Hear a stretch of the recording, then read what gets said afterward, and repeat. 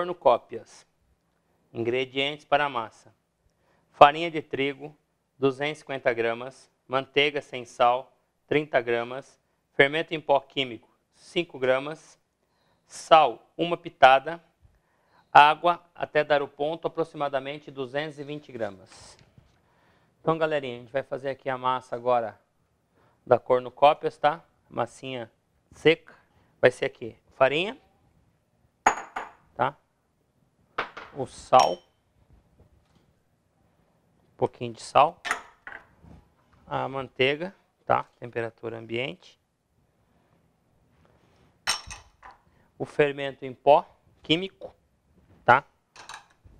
E a metade da água. A água pode ser temperatura ambiente, tá?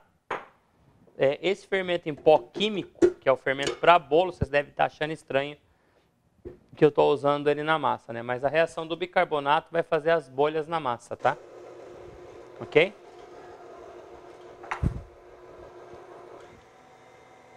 Então, ó, uma boa misturada, tá? Uma parte da farinha. Aí agora eu acrescento mais um pouquinho de água, tá? Só para formar a massinha. Mais um pouquinho. A massinha tem que ficar bem seca, tá? Marquei 220 gramas de água, mas pode ir mais como pode ir menos, dependendo da sua farinha, tá bom? Nossa massinha já está pronta. Ó, ela junta, tá bem firme.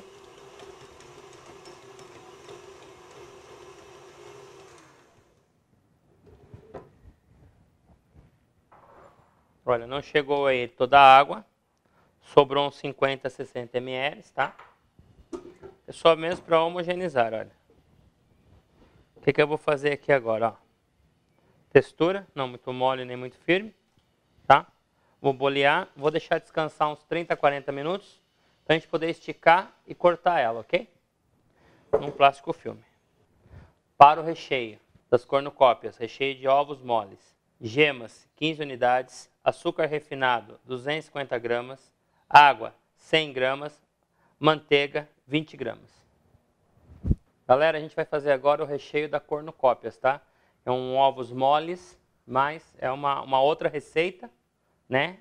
E ele vai ficar mais cremoso, tá? Então, ó, vou levar para ferver, tá? O açúcar refinado com a água. Assim que, assim que abrir fervor, eu vou contar três minutinhos depois de três minutinhos, eu volto aqui para a gente terminar as gemas, ok? Bom, galera, nossa calda já ferveu três minutinhos, né? Levantou a fervura. Aqui está a nossa gema um pouquinho batida e ó, ó fininho para não cozinhar a gema, tá? Ó. Ah, esse aqui é para o recheio da nossa cornucópias, tá? Um ponto de fio, ó, calda em ponto de é, é, em fio fino. A gente fala é, é, fio fino é para colocar aos poucos a calda, não a calda chegar em ponto de fio, tá, galera? Ponto de fio é 112 graus, 115 já começa a ponto de fio, tá? Que é a bala mole que a gente fala aqui no Brasil, tá? Eu dissolvi isso para quê? Para que ela é, não cozinhasse a gema, tá? Por isso que eu uso aquele ponto de fio, para ela ficar em fio fino na, na calda, tá? Feito isso, olha, volta para a panela de novo. Aí vocês vão me perguntar, mas isso vai dar ponto? Vai. Agora eu vou levar ao fogo outra vez, baixo, até ela ferver o fundo, tá? Borbulhar. Certo? E a gente já volta aqui para mostrar o ponto. Nosso creme chegou ao ponto, nosso doce de ovo, ó. Ponto de estrada, tá? Estrada mole essa, tá? Ó. Tá, ó.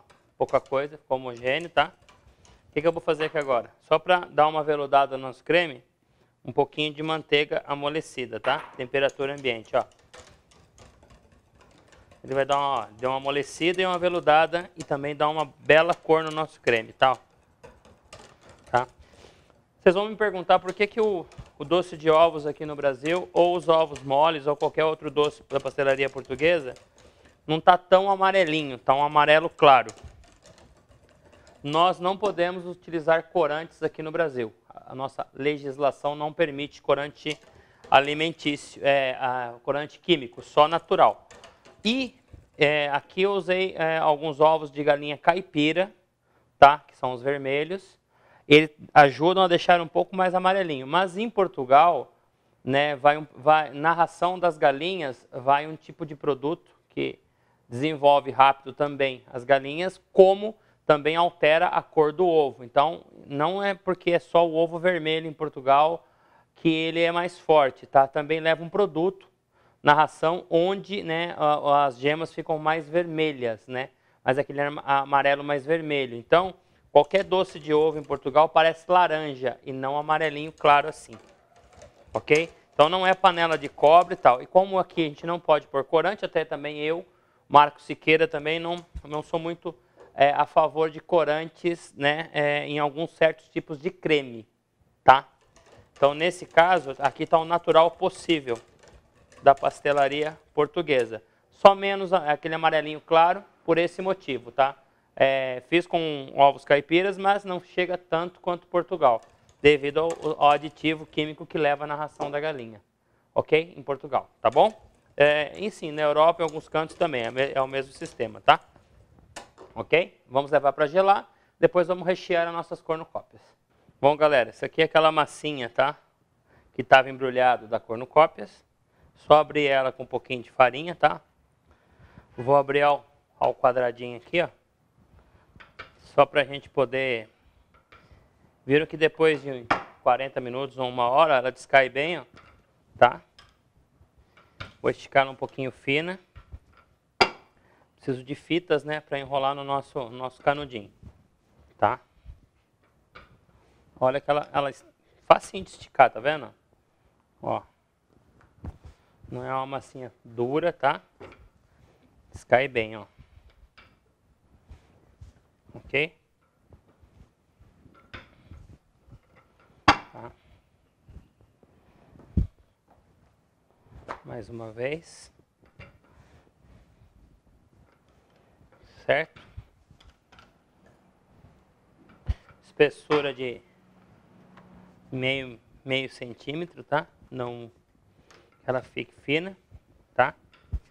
E aí aqui é o seguinte, ó, vou cortar as fitas, não muito, não muito largas, ó, tá? De espessura de um centímetro mais ou menos. Se quiser fazer mais largo, pode, fica a seu critério, tá? Quem quiser usar uma régua para cortar retinho também, pode, tá bom? Feito isso, eu tenho aqui meu canudinho, tá? Aquele canudinho tipo cone, tá?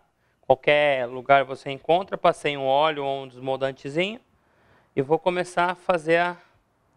Eu vou começar a enrolar, ó. Começa a enrolar de baixo, tá? Tá fininho, ó. Massinha mole, olha, tá vendo? Um sobre o outro, ó tá? Até o finalzinho. Ok? Fechei na ponta. Tá? De novo, ó. Enrolo aqui na pontinha. E ó, sobre ele vou vou cobrindo um em cima do outro, ó. OK? Até o finalzinho, tá? Feito? Olha lá. Feito isso, vou descansar ele uns 10, 15 minutos, é o tempo de esquentar o óleo. Esquentou o óleo, a gente vai fritar ele no óleo bem quente, tipo quase 200 graus, para ele purucar, ok?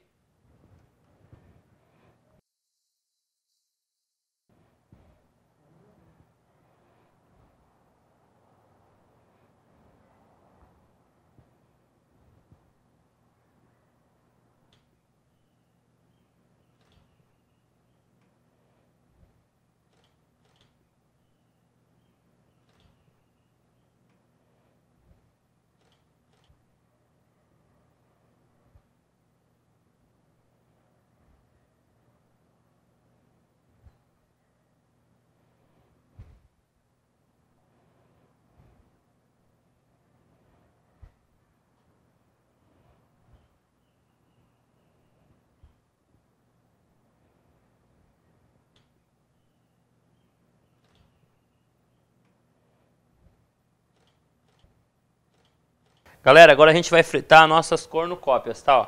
Tá firminha a massa já, descansadinha. Frita-se com o canudo, tá? Beleza? Ó, o nosso óleo tá bem quente, ó. Tá certo?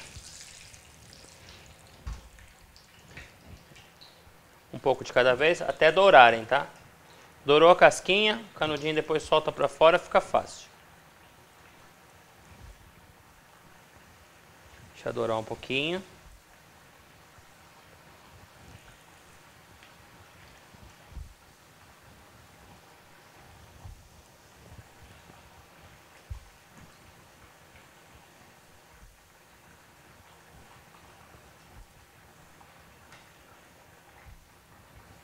Mais um pouquinho, tá? Dá aquela douradinha, vai ficar bem crocante. Essa massinha lembra aquela massinha de pastel que a gente tem no Brasil, tá? Ela fica bem pururuquinha. Beleza? Não precisa da cachaça, que o fermento em pó, ele faz a vez da reação química na massa, tá? Fica cheio de bolinhas, tá?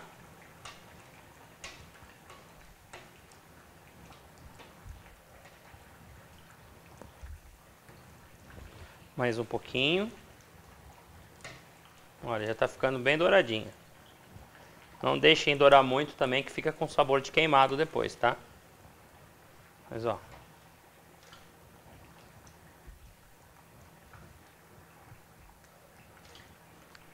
Eu vou tirar uma aqui. Tá? Dessa cor douradinha, tá bom? Depois ela escurece um pouco. Mais um pouquinho.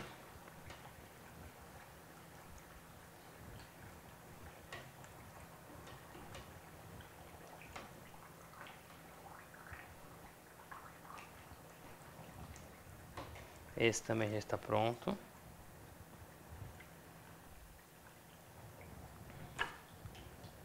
Esse também já está bom.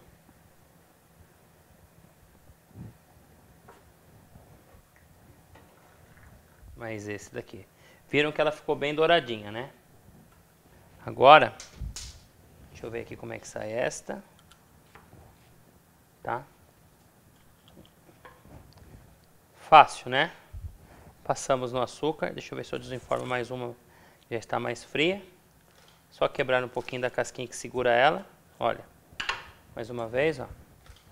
E agora é só envolver no açúcar, tá? Essa é só no açúcar mesmo, tá, pessoal? E depois a gente vai finalizar aqui com doce de ovos, ok? Então, galerinha, a gente vai aqui agora finalizar nossas cornucópias, tá? Eu fiz aqui um adereço que é encher uma tigelinha de açúcar refinado, além de passar elas no açúcar, olha, a gente espeta elas, tá? No açúcar e vai assim para a vitrine, como é em Portugal, nas feiras de doces conventuais, que acontece sempre no Mosteiro de Alcobaça entre 5 a 15 de novembro, tá? Tem até um campeonato de confeitaria conventual, né? Pastelaria conventual. Então, olha, e aqui tem aquele doce de ovos, né? Bem, bem mais mole, tá? Que ele fica mais cremosinho. Então a gente vai preencher esses canudos, tá? Com esse doce de ovos, ó. Esse é bem mais, mais mole, aquele que a gente deu, deu um talento, né? No final com, uma, com um pouco de manteiga, né? Corta a pontinha aqui, olha para tirar o ar. E ó, tá? Até o finalzinho. Mais um pouquinho, certo? Importante, olha, é pingar até o final, tá? Até o finalzinho do canudo, olha, sobe. Aperta de novo sua cornucópias aqui para não cair. Pois vem, olha, completa bem, ó, o final, tá?